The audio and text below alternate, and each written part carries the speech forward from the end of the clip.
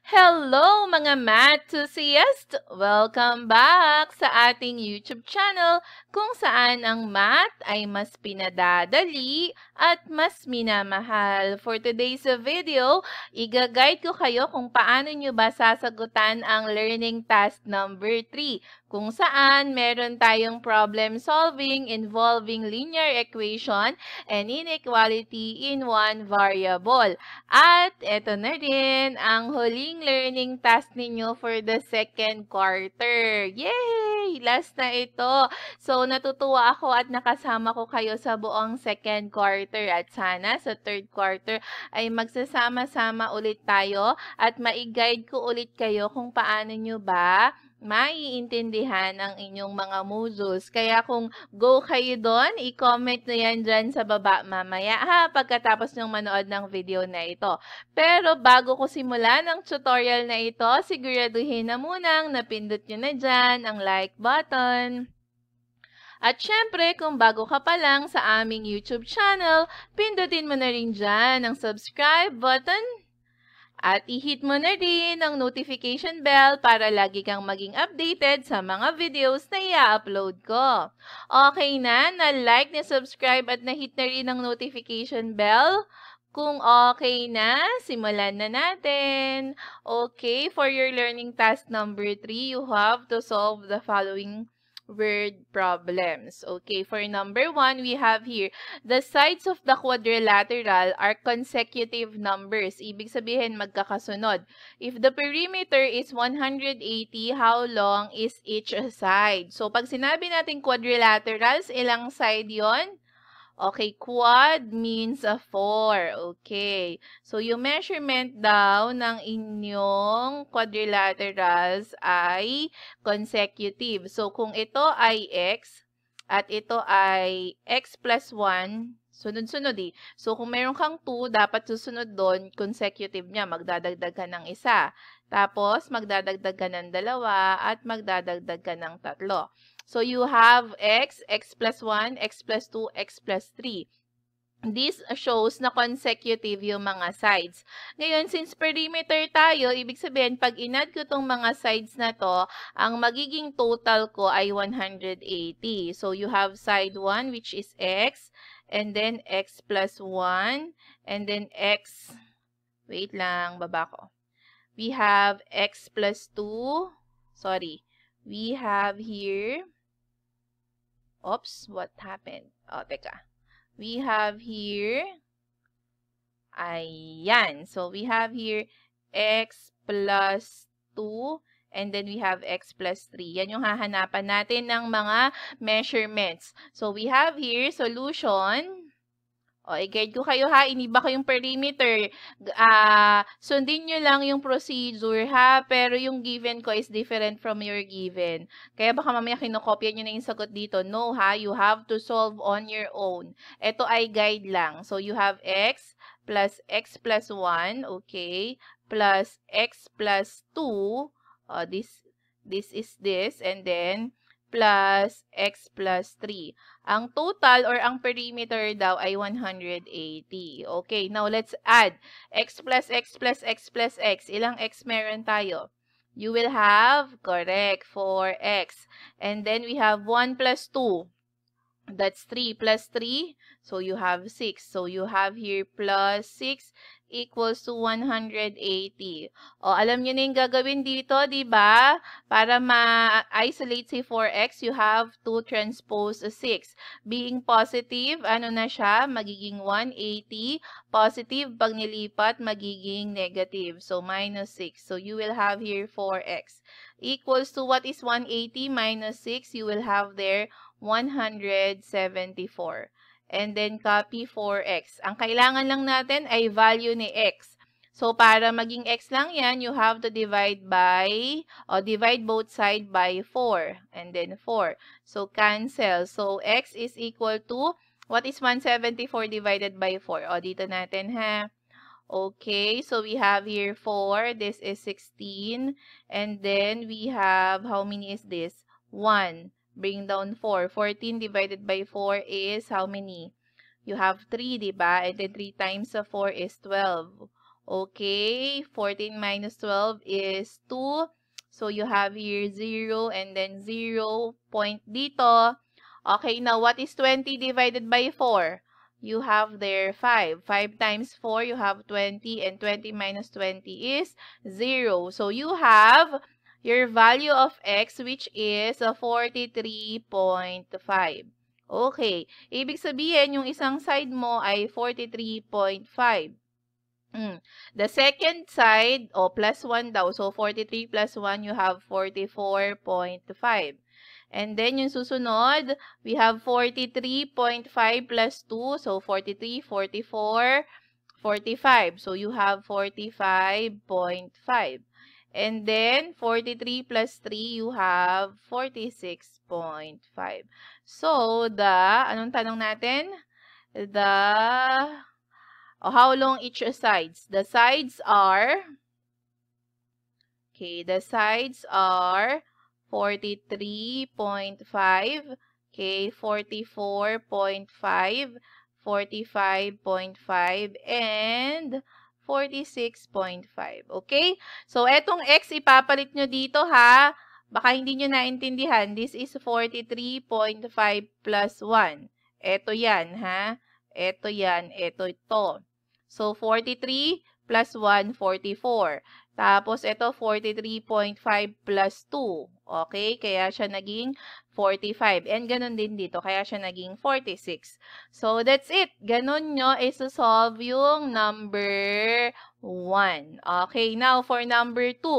Inzo is 10 years older than Migs 5 years ago. And Migs is one-third as old as Inzo. So, what are their ages? O, hindi ko to napalitan ha. Palitan natin siya ng 20. Sige, gawin natin tong 20 para hindi nyo pa kopyahin yung sagot. So, Inzo is 20 years old than Migs. So, ano ang age ni Migs? Dahil si Inso ay nakasalalay kay Migs, ibig sabihin si Migs ay X kasi hindi natin alam. Si Inso, alam natin kung ilang taon siya. 20 years older than Migs. So, kung si Migs ay X, si Inso ay X plus 20. Now, 5 years ago, Migs is one-third as old as Inzo. Ibig sabihin, 5 years ago, o lagay natin dito, 5 years ago, So, ito ay magiging x minus 5. Ito naman ay magiging x plus 20 minus 5. Pero ano na siya? One-third lang nung age ni Migs. Okay, so paano natin ito isosolve? So, we have here x minus 5. Kaya tayo nag-minus ng 5 kasi 5 years ago. So, babawasan mo ng 5. Equals to 1 third and then x plus 20 minus 5. Okay. What is 20 minus 5? Ito, kailangan ma-simplify muna natin to. So, you will have your x minus 5 is equal to 15, diba? This is 15. So, you will have 1 over 3, okay, times x plus 15. Okay? Since 1 times x plus uh, plus 15 is still x plus 15. O, yan na lang siya. Kasi 1 times this one is still siya pa rin. Okay, over 3. And then you have x minus 5 equals this one. So, ano yung sinabi ko? Anong gagawin nyo dito? Diba? This is over 1. You have to cross multiply. So, 3 times x, you have 3x. Correct. 3 times negative 15 is negative, ah, sorry, 3 times negative 5 is negative 15. Nasabi ko na tuloy yung sagot. Equals to x plus 15. Okay, dahil may dalawa tayong x, yung x na yung mga yan ay pagsasamahin natin sa isang side. Tapos yung lahat ng walang variable sa isang side. So, eto, lipat siya dito. Kasama siya ni 3x. Kaya magiging 3x minus. Kasi positive siya, ililipat siya, magiging negative equals to 15. Tapos, ililipat din natin to from negative, magiging positive na siya. So, positive 15. Okay, so what is now this one? Wait lang, enter ko lang ha. So, this will be, okay, 3x minus x is how many? That's 2x. Correct. Tatlong x, bawasan mo ng isang x, 2x yan. Okay, now 15 plus 15 is 30. Kailangan lang natin ay x, so you will have here divided by 2, divided by 2. So your x is equal to 15. Ibig sabihin, ang age, kung anong ma-solve nyo dyan ha, magkaiba tayo ng sagot kasi magkaiba tayo ng given. Pero same strategy, same procedure. Okay, ibig sabihin, si Migs ay ilang taon na? Okay, so Migs, therefore, therefore, Migs is 15 years old. While, ilan taon na si Inzo? O, kailangan i-consider nyo to ha. Si Inso daw ay x plus 20. Ang x nyo ay 15, di ba? Na-solve nyo, 15. So, i-add nyo dito, 20. So, 15 plus 20, while Inzo is 35 years old. Okay, so anong gagawin nyo? Ganun sa inyo ha. Yung masosolve nyo x plus 10 naman. Kasi ang original ay 10, di ba? 10 years old. Okay, that's for number 2. Now, for number 3, okay, ito medyo mahaba ito ha, pero kayang-kaya natin yan. An e express train travels 100 kilometers per hour from station A to station B. A local train traveling at 45 kilometers per hour takes 55 minutes longer from the same trip. Now, how far apart is station A and station B? Okay, so you have station A and station B ang nawawala. Ito, yung distance nila. Gaano sila kalayo. So, you have here train 1 and then you have here train 2. Okay, ano muna yung speed nung una nating train? That's 100 kilometers per hour. Yung second train naman is 45 kilometers per hour. Now, let's have the time hindi natin alam kung ilang oras na travel ni train number 1, si uh, B. Ito, di ba, yung ating point B or station B. So, that's X. Okay? And then, ang alam lang natin, si uh, yung second train ay 55 minutes longer. So, mas mahaba siya. So, that will be X Okay, plus, pero tandaan mo, ito ay nakalagay sa minutes. Dapat hour tayo. So, yung 55 over 60 yan. So, kung ang given nyo dyan ay 45 over 60 siya, ha? Hindi pwedeng basta ilagay mo na lang ay 45 kasi minutes ang given nyo. Dapat nasa hours siya. So, i-convert pa natin siya. Now, to find for the distance, you have to multiply speed and time. So, magkakaroon ka ngayon ng 100 times x. So, that's 100x And this one will be 45 times, dahil dalawa to naka-parenthesis muna, x plus 55 over 60. Okay, then i-equal natin sila. So, for your solution, okay, you will have here 100x is equal to 45, okay, times x plus 55 uh, over 60. Okay. I-divide muna natin yung 55 over 60. O mga anak, gagamit ako ng pinagbabawal na technique ha para lang mabilis to. Pero kung kaya nyong i-solve ng manual, i-solve nyo ng manual ha. Pero this time, ipapakita ko lang kasi pag minanual ko siya, masyadong mahaba. Okay. O, ipakita ko lang sa inyo ha. Ayan na ang pinagbabawal nating technique. So, what is 55 divided by 60? Okay, that's uh, 0 point round off 92. Okay, divide mo muna to. So, you will have here now 100 x is equal to 45 times x plus 0.92. Okay? And then, distribute this one. So, you will have 100x is equal to 45x plus, okay, imo-multiply nyo ito. So, you have here 45 times a 0.92. So, this one is 10. This one is 8 plus 1, 9. 9 times 5 is 45, carry 4. 9 times 4 is 36 plus 4, you have 40. So, you will have your 0, 9 plus 5, 14, carry 1. And then 1, and then 4. So, your answer will be 41.40. Okay, kaya ito ay 41.40. Okay, next is Eto, kasama niya dapat yung may x. Kaya ito, lilipat natin sa kabila. Kaya magiging 100x. Okay, from positive, magiging negative 45x na siya equals to 41.40. Oh, what is na 100 minus 45? Okay, that's a 55x equals to 41.40.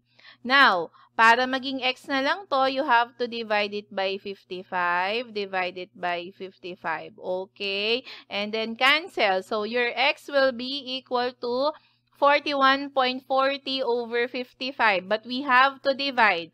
Okay? So, we have this pinagbabawal ng technique ha, mga anak. Bawal ito. Okay, pero para lang mabilis na dito sa video natin, ipapakita ko na sa inyo kasi pag inisa-isa ko pa ay hahaba ang video natin. So, we have this Okay, so your answer will be 0.75. Round off na ha. So you will have here 0.75. Our x now is 0.75. Pero ang question natin, ito ay time pa lang ha ni chain 1. Okay, para ma-meet niya itong uh, this one uh, ano tong station B, sorry, para ma-meet niya yung station B. Pero ang kailangan natin ay yung distance, okay, from A to B. So, para makuha natin yung distance, yung value ni X, i-multiply natin sa 100. So, for the distance, we have, okay, 100X. So, this will become 100 times 0.75. So, what is 100? Okay, times the 0.75, that will be, okay, 75 kilometers. Okay? So, ang sagot natin dito ay, therefore, okay, the distance between station A